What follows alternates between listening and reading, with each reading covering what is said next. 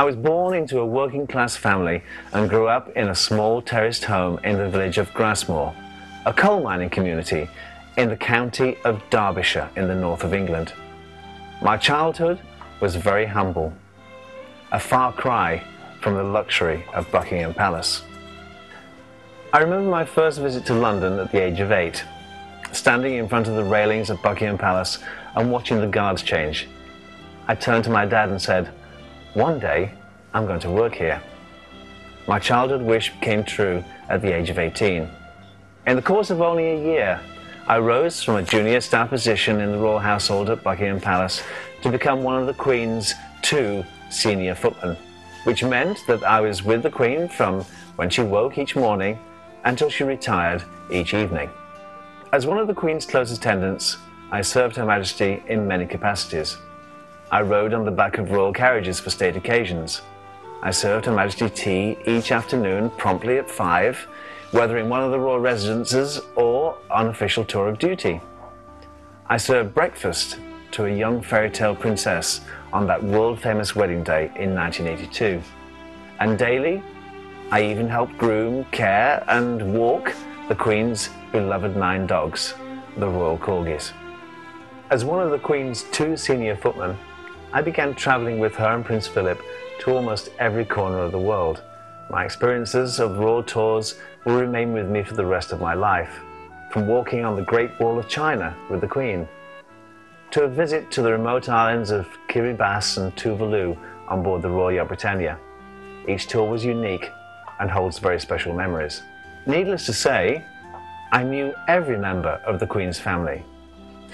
But in 1987, Prince Charles and Princess Diana asked me to become their butler at their country home, Highgrove House in Gloucestershire.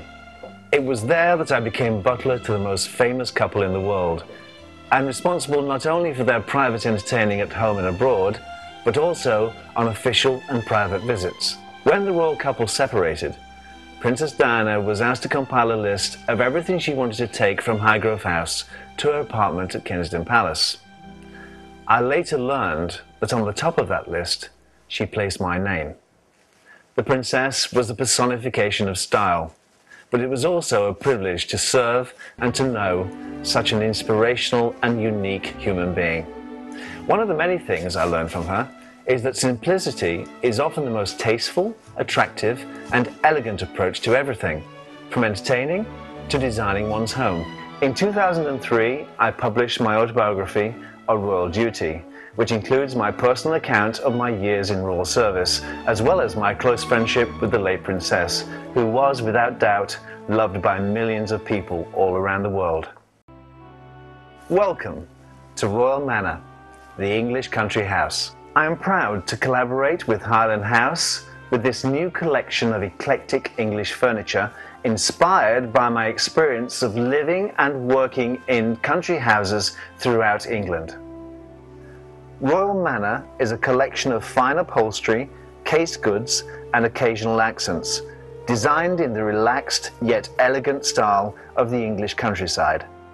The overriding theme in this furniture is the unique English mode of decorating, a style that is elegant and sophisticated, and yet at the same time never uptight or overly stuffy.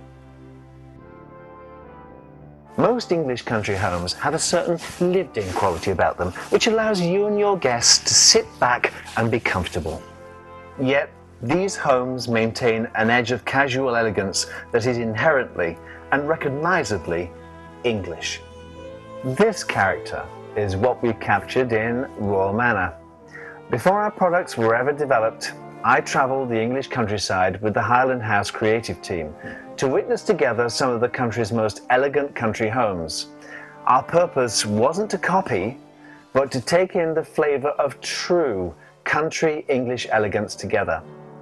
Among the elegant country houses we visited were Chatsworth House, the ancestral home of the Duke and Duchess of Devonshire, Castle Howard, the ancestral home of the Howard family, used as a backdrop for the television series Brideshead Revisited. Harewood House, the ancestral home of the Earl and Countess of Harewood, cousins of Queen Elizabeth II, who has often stayed there. From our first hand research, the Highland House creative team and I developed interpretations for our furniture collection. Each item in Royal Manor is unique in its Englishness. You will see that this sort of furniture is relevant to the way people desire to live today. Everything has a certain elegant quality about it, yet the theme is still casual and relaxed. The colours, fabrics and finishes are not those of England from 300 years ago. You will see that the colours, fabrics, functions and finishes have all the qualities that people want today. It was my honour and good fortune to spend 11 years directly serving Her Majesty the Queen. I shall always be grateful for her generosity of spirit and for the many kindnesses she showed to me and to my family. I shall never forget her, and it's my pleasure to name this small regal chair in her honour. This regal bed is a collection highlight with great personal significance.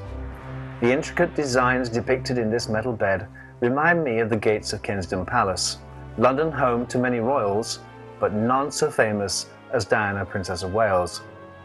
Kensington Palace was also my and my wife's home for five years. Our two children lived a privileged childhood, growing up with two royal princes in the nursery at Kensington Palace and Highgrove House. This dining table has the flavour of Chinese Chippendale styling, similar to antiques that Queen Victoria furnished the new front rooms at Buckingham Palace after she commissioned the facade we all know and recognise as the palace today. Queen Victoria's Chippendale furniture was originally built in the early 1800s for the famous Brighton Pavilion for the Prince Regent, who later became King George IV. What makes our dining setting unique is the intentional pairing of styles. We paired our Chinese Chippendale table with upholstered chairs from a totally different style and period, which in this case are elegantly upholstered chairs with carved Georgian style legs. One of my mentors at Buckingham Palace was Cyril Dickman. Cyril rose through the ranks to the very top, becoming the chief palace steward. Known and liked by all, he was called Cyril by Her Majesty. It's only appropriate that the butler's tray in my collection be named after Cyril. Historic recreations of jousting events are frequently held at England's most famous medieval castle, Warwick Castle overlooking the River Avon in Warwickshire. The tassels and crenellations of this elegant table topper look much like the decorative edges of knights' tunics worn at these events. Alderley Edge is a village in the county of Cheshire, located south of Manchester. Alderley Edge takes its name from the wooded escarpment that towers above the Cheshire Plain. With its scenic walks and lovely views of the countryside, Alderley is now well known as a smart, very chic place to live.